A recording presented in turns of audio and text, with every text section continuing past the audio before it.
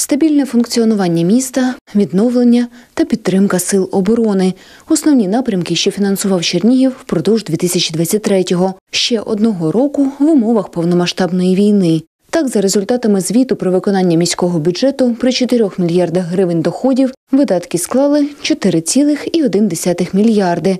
І попри 900 мільйонів так званого бюджету розвитку, про сам розвиток взагалі не йдеться. Про це під час засідання виконавчого комітету 28 лютого повідомила очільниця профільного управління. Порівняно з 2022-м власні надходження міста збільшилися на 8%. Водночас зменшилися обсяги освітньої субвенції і офіційних трансфертів.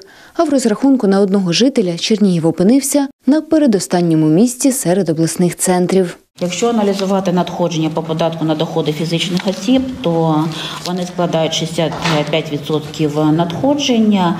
Порівняно з 2022 роком навіть зменшилося надходження через те, що у нас в четвертому кварталі було вилучено ПДФО з військовослужбовців, а це складає 212,5 мільйони гривень.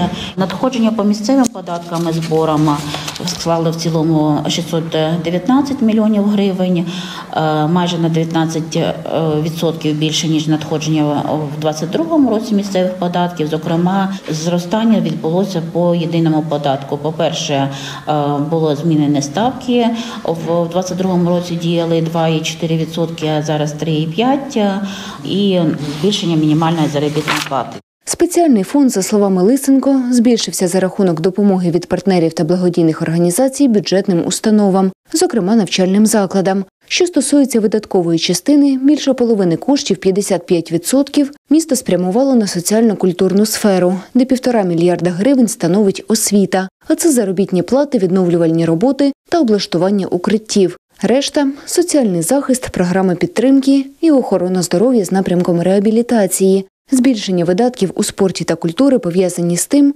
що у 22-му чимало з них не працювали як зазвичай. Якщо б виділити всі соціальні сфері зарплату і ліквідацію наслідків, то цифра буде близько нуля.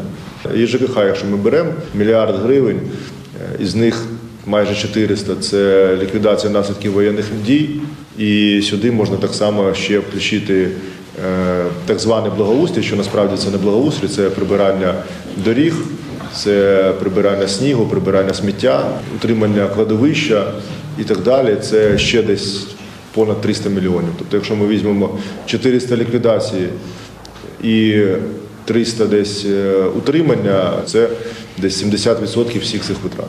В цілому, у 2023-му видатки по галузі житлово-комунального господарства збільшилися в 1,8 разів порівняно з 2022-м. Сюди ввійшли аварійно-відновлювальні роботи на житловому фонді та на спецкомбінаті, що опікується кладовищами, ремонт системи відеоспостереження у місті, будівництво спільно з Червоним Хрестом, містечка на Дрозда, підтримка новоствореного КП після повернення ТЕЦ і підготовка до опалювального сезону, придбання техніки та обладнання на комунальні підприємства замість зруйнованих та інше.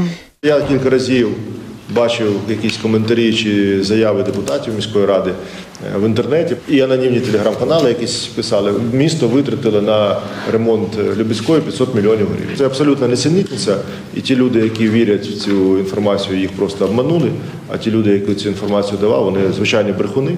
На всі об'єкти на капітальний ремонт ЖКХ місто витратило 139,6 мільйонів гривень, не 500, як було сказано. І звичайно, що не всі ці кошти не пішли на Любіцьку. На Любіцьку пішло, ну те, що я бачив, остання цифра 80 там чимось, ну хай навіть 90 мільйонів. Ну це далеко не 500.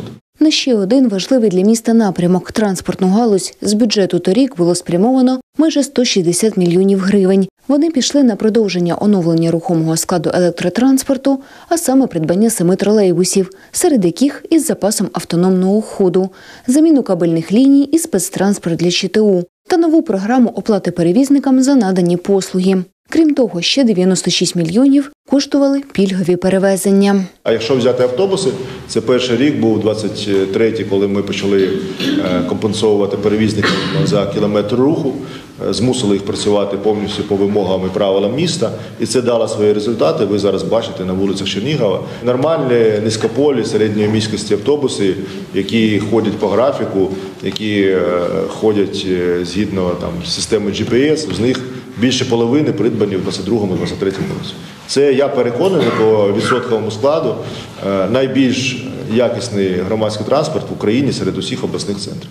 Бюджет розвитку у розмірі 900 мільйонів гривень це фактично відновлення, а не проєкти, щоби покращували інфраструктуру, підвищували інвестиційну привабливість міста, комфорт або якість життя, те, що дійсно можна назвати розвитком, ішлося на виконкомі. Продовжувалося виконання основних цільових програм, серед пріоритетів була підтримка населення, постраждалого внаслідок російської агресії та посилення обороноздатності і допомоги ЗСУ.